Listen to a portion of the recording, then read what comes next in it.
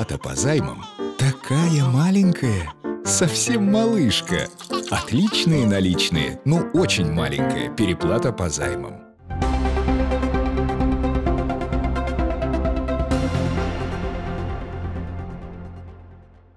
Сегодня в пятой гимназии Кызыла прошли соревнования по гражданской обороне и чрезвычайным ситуациям среди учащихся городских школ. Первое соревнование приурочили к 85-летнему юбилею ведомства. По словам спасателей, базовые навыки, полученные в ходе подобных мероприятий, помогут школьникам сориентироваться в самых неожиданных ситуациях. Мероприятие направлено для популяризации гражданской обороны, для развития навыков среди школьников, э, их умений и способности постоять за себя и за Родину. Мы будем вовлекать все новые и новые круги среди населения. Начинаем со школьников, далее, возможно, на высшие учебные заведения и будем расширять наш круг обучаемых. 14 команд из городских школ не в первый раз участвуют в подобных мероприятиях. Первую медицинскую помощь уже умеет оказывать. Все команды из профильных классов – юнормейцы, пограничники и кадеты. Мы в основном готовились к а, медицине и одеванию ОЗК. Нам раздали каждому свою перевязку, то есть а, я перевязываю косовидную, это когда при, а, при травме плеча. То есть мне надо будет зафиксировать плечо, чтобы ничего не случилось далее и дождаться скорой помощи. Планам организаторов помешали погодные условия. Было решено перенести мероприятие со спортивной площадки в спортзал. Поэтому соревнования ограничились решением логических задач, оказанием первой медицинской помощи и надеванием специального защитного костюма на время. Нет, нет, туда же, туда же, Туда же, где его, где вторая белая. Нет, белая, где, вот, А, как? Цеплял.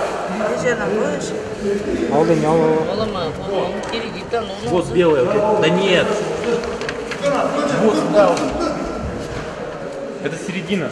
Организаторы уверены, что знания и навыки, полученные ребятами в рамках проведенных мероприятий, обязательно пригодятся им в жизни и расширят их кругозор в области защиты от чрезвычайных ситуаций. Министерство дорожно-транспортного комплекса Тувы информирует граждан о том, что в связи с окончанием навигационного периода и снижением уровня воды в реке Енисей паромная переправа Карахак закрыта. Остальные паромные переправы Эйлихем и Дерцик-Акци функционируют в штатном режиме.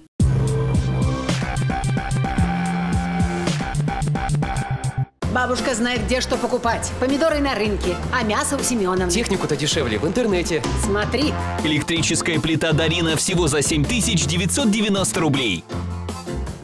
РБТ.ру надо тебе чехол для планшета связать. 25 октября. Национальный театр. Тувинский национальный ансамбль песни и танца «Саяны» приглашает на открытие 49-го концертного сезона «Золотой фонд». Билеты в кассе театра. Телефон 21141.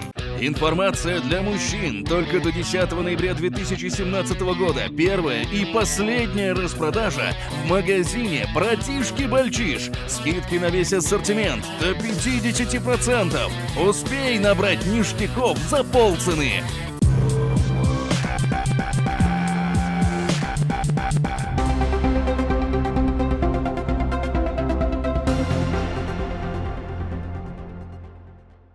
Сибири прошел межрегиональный информационный тур, призванный объединить в одно сибирское кольцо Туву, Хакасию и Красноярский край. Тур по округу проводится уже в третий раз.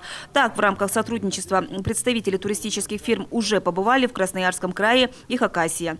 Наша республика участвует в трехстороннем туре в рамках приоритетного проекта Министерства культуры «Посети Туву». Просто не знают, какая здесь красота, и в том числе туроператоры.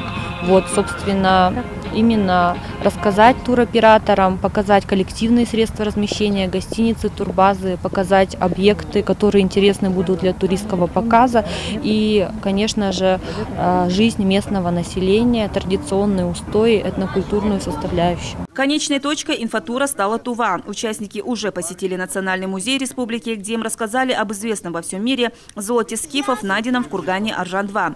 Также группа побывала в Центре традиционной тувинской культуры и ремесел. Для меня а, восточное направление было совершенно э, таким закрытым, непознанным.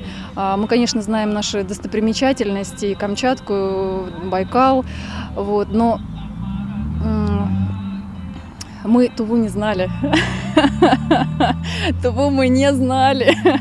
Мы не знали, что здесь есть э, такая колоритная, самобытная э, культура. Мы не знали, что здесь есть вполне достойное размещение. Мы не знали, что э, здесь может э, быть реализован достаточно на хорошем добротном уровне европейский сервис. Цель проекта – обмен опытом по организации активного культурного и семейного отдыха, а некоторые участники уже планируют совместную работу.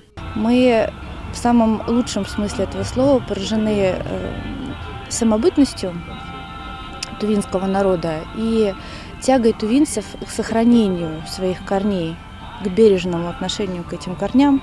Я думаю, что это основной э, туристский ресурс. Это именно то, что будет привлекать сюда миллионы, надеюсь, туристов каждый год.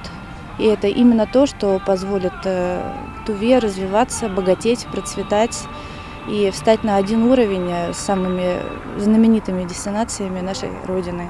Тува для большинства участников тура стала большим открытием. По их словам, республика своей самобытностью и природой должна собирать ежегодно тысячи туристов со всех стран. Когда мы уже за Хакасию уехали, мне стали поступать, подходят ко мне отдельно каждый, там Томск, Новосибирск, Красноярск с удовольствием. Он говорит, давайте уже предложение. То есть вот я сейчас организую, говорит, Красноярск эм, и Ергаки, а давайте, говорит, было бы здорово, если бы мы еще Туву захватили, говорит, дня на два. Вот, то есть уже с Красноярском есть договоренность, мы уже обмениваемся опытом. Томск подошел следующий тоже говорит, где вас найти, как нам с вами посотрудничать. То есть каждый из них подошел, и они уже готовы работать, и они уже готовы вести сюда туристов в Туву. Напомню, что информационный тур по Сибири стартовал 15 октября. По итогам мероприятия некоторые представители турагентств планируют организовать для туристов новый маршрут по трем регионам Сибирского федерального округа и не только. Тува получит около миллиона рублей из федерального бюджета в рамках проекта «Театры детям». Средства будут направлены на поддержку творческой деятельности, техническое оснащение Тувинского государственного театра кукол. Соответствующее распоряжение 14 октября подписал председатель правительства России Дмитрий Медведев. Субсидии бюджетом субъектов Российской Федерации на софинансирование расходных обязательств, связанных с поддержкой творческой деятельности и техническим оснащением детских и кукольных театров, предоставляются в рамках государственной программы развития культуры и туризма туризма на 2013-2020 годы. Принятое решение создаст дополнительные условия для совершенствования системы государственной поддержки в сфере культуры и искусства и реализации субъектами России программ поддержки детских и кукольных театров.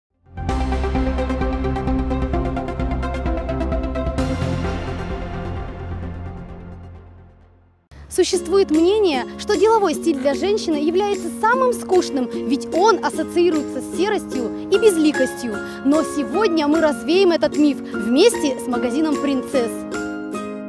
Офисная одежда – важная часть гардероба для современной женщины. Какие наряды выбрать, чтобы быть в тренде, сейчас узнаем.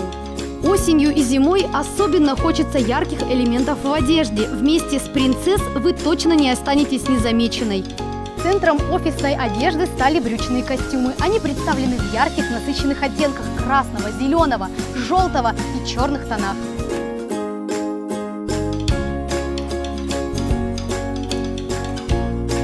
Офисные платья остаются на пике моды, и за счет своего необычного кроя и фасона они не кажутся серыми и скучными.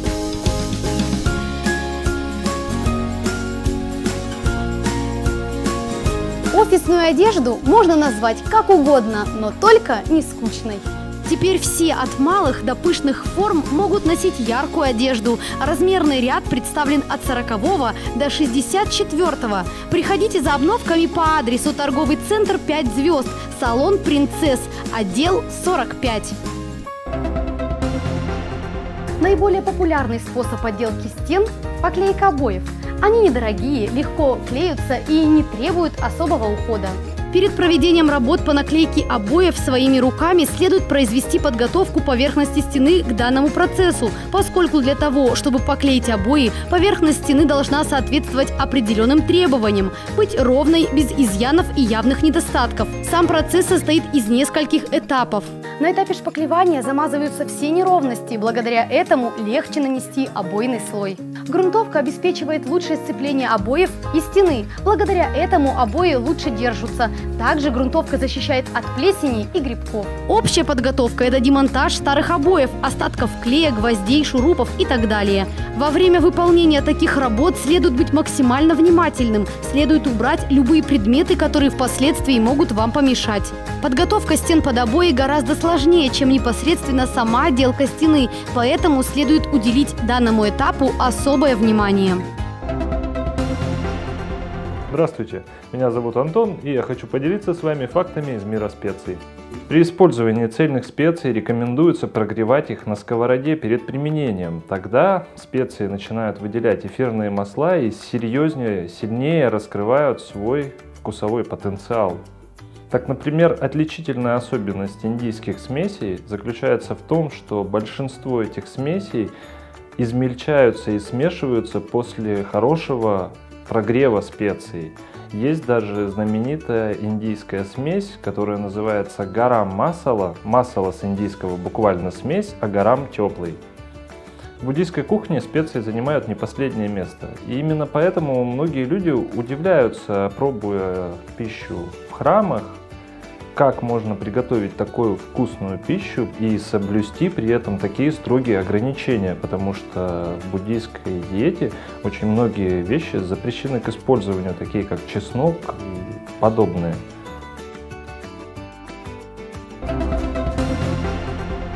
Сегодня состоялся последний в этом сезоне радиоквест «Замес майонез» с рестораном банкетного зала «Аристократ».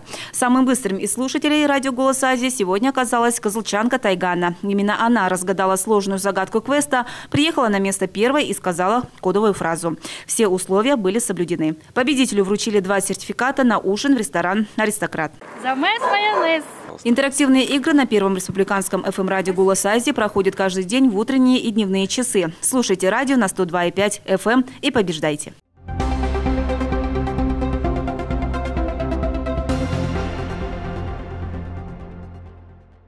Спонсор выпуска прогноза погоды «Отличные наличные». Компания «Отличные наличные» рада видеть вас в любом из своих офисов более чем в 80 городах России, от Камчатки до Калининграда. «Отличные наличные» – надежный партнер с многолетним опытом стабильной работы. Переплата по займам такая маленькая, совсем малышка. Отличные наличные, ну очень маленькая переплата по займам. В ближайшие сутки по республике ожидается переменная облачность, ночью местами небольшой дождь, мокрый снег, днем без осадков. В Кызыле переменная облачность, без осадков, ночью минус 1, минус 3 градуса, днем плюс 6, плюс 8. Продлевать срок займа можно бесконечно.